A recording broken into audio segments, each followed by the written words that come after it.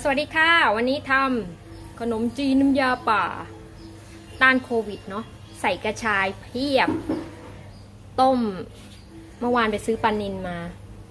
ต้มเอาแค่ครึ่งตัวพอเดี๋ยวเอาใส่ปลากระป๋องเพิ่มไปนิดหน่อยนะคะ แล้วก็มีกระชายมีพริกแห้งใหญ่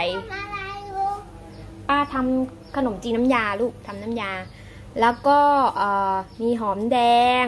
มีกระชากระชายแล้ว แล้วก็มีข่า แล้วก็มีตะไคร้ แล้วก็ใบมะกรูด ตอนนี้ขั้นตอนต้มปลาให้สุก แล้วก็ต้มพวกเครื่อง เครื่องพริกทั้งหมด เดี๋ยวสุกแล้วค่อยมาโขก โขกรวมกันค่ะ นี่เดือดแล้วนะจ๊ะ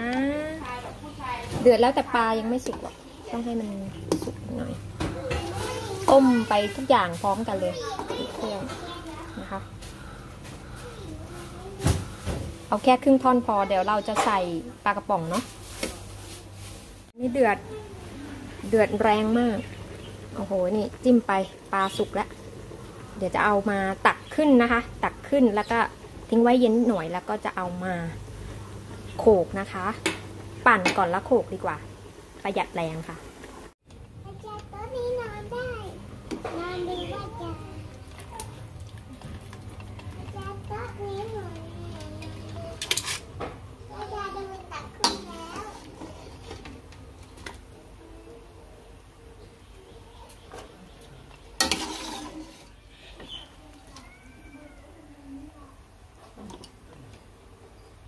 นะคะ ตักขึ้นมาแล้วเนาะ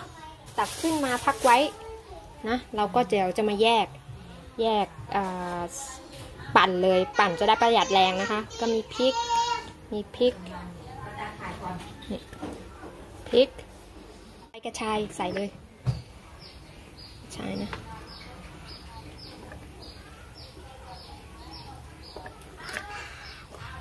ปั่นเลย มันเต็มแล้วนะากค่ะปั่นปึ๊บอาจารย์จะจับอีกไหมทำอีกเดี๋ยวนี่ดูดิ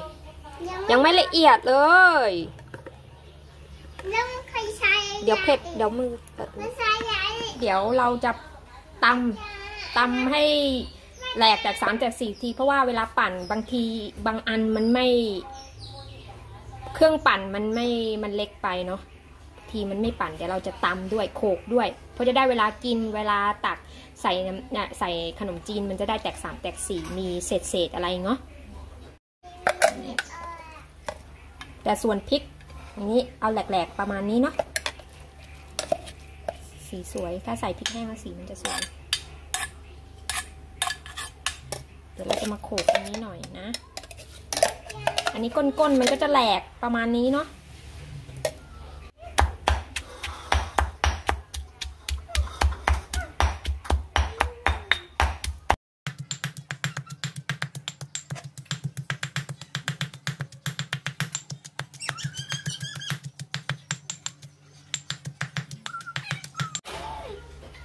อั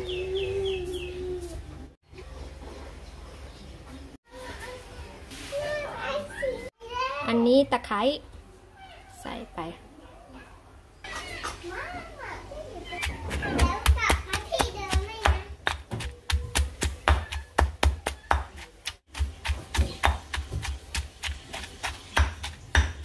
จะได้แตกสามแตกสี่นะคะ เดี๋ยวจ้าจะตักพักไว้ก่อนเนาะ อันนี้เพราะว่าเดี๋ยวจะโขก ขกปลานิดหน่อยนะคะ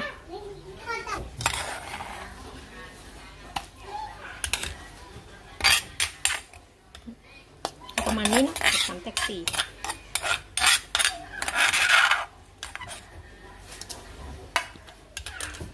ปลาครึ่งตัวที่เราต้ม จะมีก้าง เดี๋ยวจะเลือกเลือกก้างนะคะ ชิ้นมีก้าง เดี๋ยวเลือกก้าง แล้วก็มาใส่นะคะ นี่ค่ะ ได้ปลาประมาณนี้ก็โขกนิดหน่อยนะ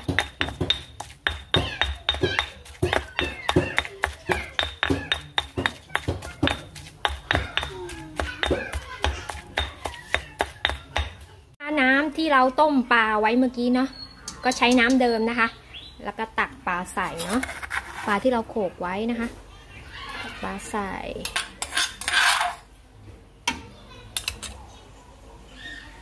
พริก พริกที่เราโขกตักแยกไว้นะ ใส่เลยนะคะ ระหว่างรอจาจะใส่ไอปลากระป๋องเนาะปลากระป๋องเพิ่มสีสัน มันจะน่ากิน มันจะแดง มันจะน่ากิน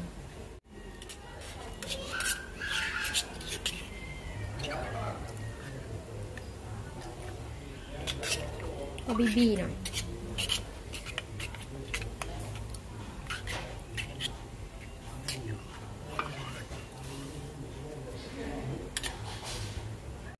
ใส่ปลากระป๋องไปสองกระป๋องคันนี้ยน้ำยาป่าเราเข้มข้นมากเลยค่ะ เพราะปลาแค่ครึ่งตัวที่ปลานินเนาะที่เราต้มใส่มันไม่เข้มข้นแล้วเนื้อมันขาวเนาะนี่อันนี้เข้มข้นแน่นอนค่ะเอาไว้นี่เดือดแล้วเดี๋ยวเราจะปรุงรสเนาะ งรสจนกระเสร็จใส่น้ำปลาค่ะ น้ำปลาเนาะก็ดูกะกะเอาเนาะแล้วก็ชิมรสเอาด้วย ใส่ใบมะกรูดหน่อยใบมะกรูดบ้านเรามีเยอะ ใส่ดับกลิ่นคาวเนาะทำให้หอมด้วยฉีกๆใส่ไปเลยนะคะนี่นี้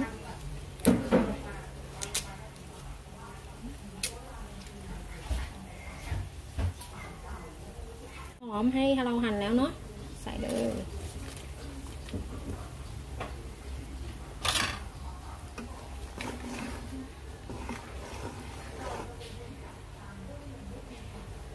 แล้วก็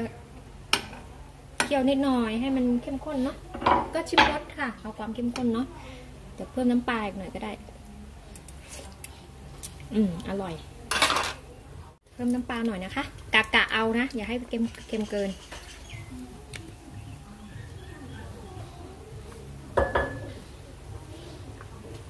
อ้าวนี่นะ เดี๋ยวมาตักใส่จานใส่ขนมจีนกันเลยค่ะ เรียบร้อยแล้วนะปิดไฟค่ะ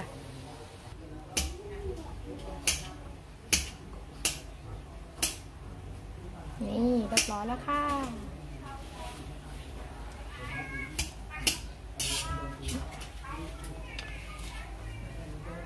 น้ำยาป่านะคะ